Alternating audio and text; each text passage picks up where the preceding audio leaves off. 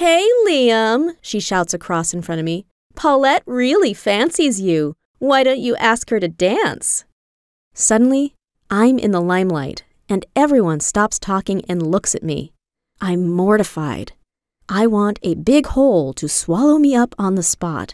I am so embarrassed.